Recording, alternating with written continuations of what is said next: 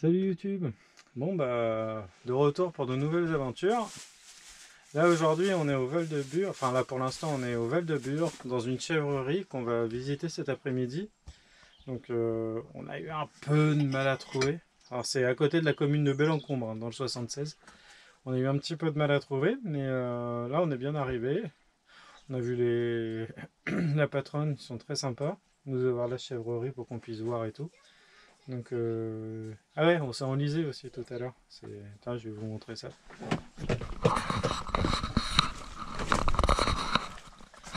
Ah, voyez, on fait pas semblant. Je me suis enlisé en, je enlisé en évitant une, une dame. La route était étroite. On a pris chacun un côté, mais le lien était beau. Donc voilà.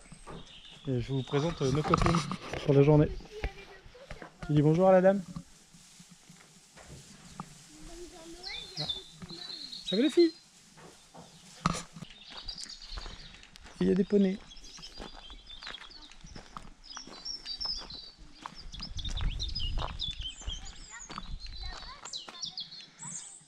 Donc là on va manger, puis bah, je vous reprends euh, je vous reprends quand on a fini de manger. On va se promener, je pense, un petit peu dans le coin et puis euh, après on peut visiter, je crois. Donc, euh, on va voir ça. je vous dis à tout à l'heure. Alors, euh, madame 492, votre mari n'est pas là? Bah, Émile, hein? Émile 492, c'est votre mari? Il a découvert l'Amérique? Petite baie, si vous êtes d'accord avec cette vanne Baie, baie.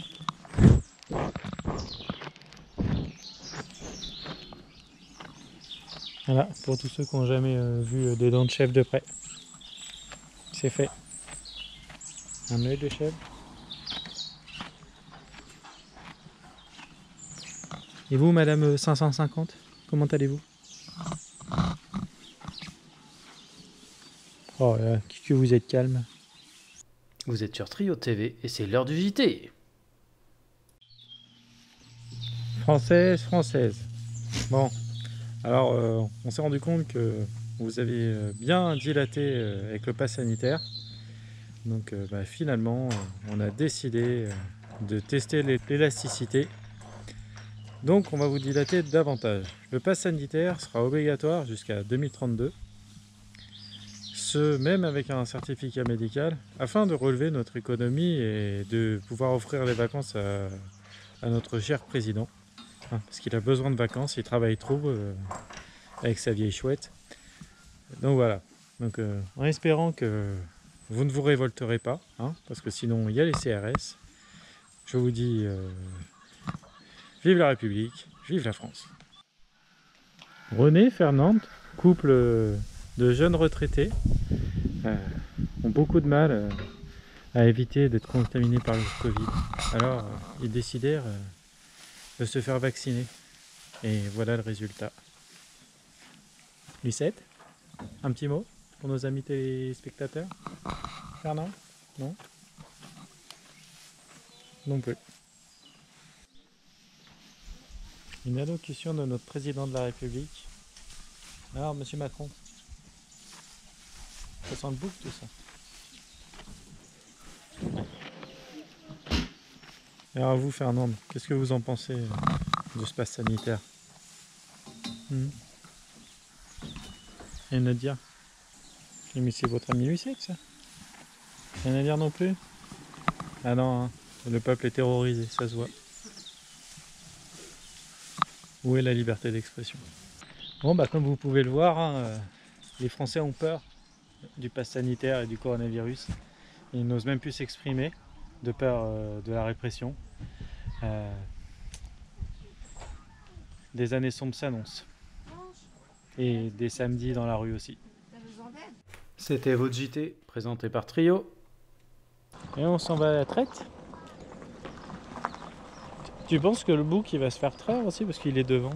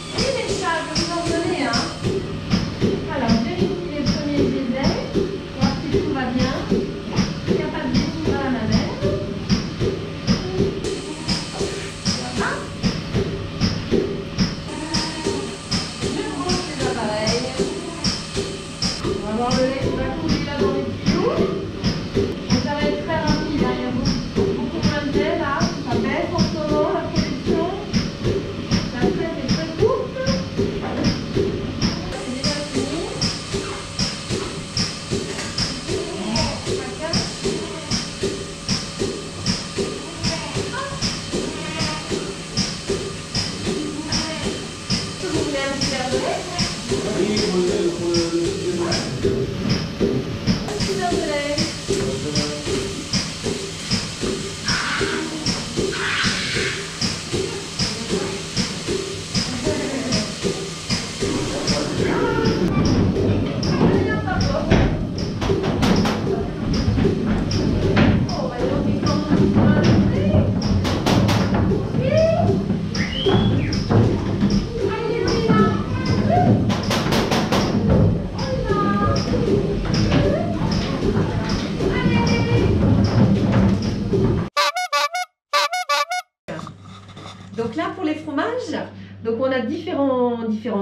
Différents formats, du plus petit jusqu'au plus gros des fromages dans ce sens. Et puis ensuite, on travaille l'affinage de nos fromages, donc on les a du plus frais jusqu'au plus sec. Donc les fromages les plus secs, c'est des fromages qui éventuellement, comme celui-ci, vont avoir un, mois et demi, deux mois. Donc qui ont beaucoup de goût, qui ont encore un peu de moelleux au cœur, mais beaucoup de goût. Et puis après, les, les très frais, c'est des fromages de trois jours, donc c'est vraiment le goût du lait. Après, ça permet d'avoir euh, pour tous nos clients des fromages à chaque étape, pour, pour tous les goûts finalement. Ici, on retrouve les fromages cendrés, qui sont traditionnels au fromage de chèvre, mais qu'on retrouve dans d'autres fromages, dont le morbier, qui est le petit liseré noir de... C'est cendré avec quoi Alors, c'est de la cendre alimentaire, c'est souvent de la cendre de paille, parce que quand on brûle de la paille, ça fait une, une cendre très très noire, très fine. Et aujourd'hui, elle est achetée et fabriquée dans des conditions al- ali- alimentaires, évidemment, hein, qui respectent les règles, les réglementations. Nous, on l'achète, on achète le sel pour saler l'ensemble de nos fromages, et on fait le mélange entre sel et cendre au moment de cendrer les fromages. Donc en fait, l'idée d'utiliser la cendre, elle remonte au Moyen Âge. Euh, à l'époque, on utilisait la cendre dans le quotidien, notamment pour laver éventuellement les vêtements ou des choses comme ça. C'est à l'époque on espérait que ce soit un conservateur, c'est pas un conservateur, mais c'est un antifongique naturel. Donc ça limite pas le développement des moisissures parce que là on voit bien que la croûte est pleine de moisissures et c'est normal, c'est des bonnes moisissures. Bah oui. Mais ça fait quand même une barrière à la cendre et les, les micro-organismes qui forment la croûte ne vont pas pénétrer cette barrière.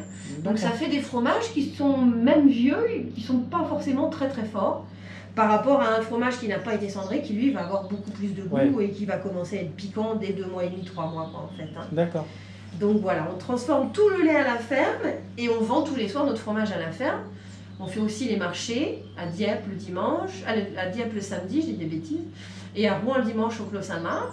Donc on fait 100% de vente directe euh, du, cons- du consommateur, euh, du producteur D'accord. au consommateur. C'est des marchés en fait que faisait mon papa depuis très longtemps. C'est mes parents qui sont à l'origine de l'exploitation, D'accord. qu'ils ont créé euh, dans les années 80. Ils ont eu le coup de foudre pour le lieu. Vous avez toujours travaillé là, du coup? Alors moi j'ai travaillé à l'extérieur euh, pendant quelques années et euh, pendant six ans et puis au moment du départ à la retraite de mon papa j'ai euh, décidé de reprendre l'exploitation.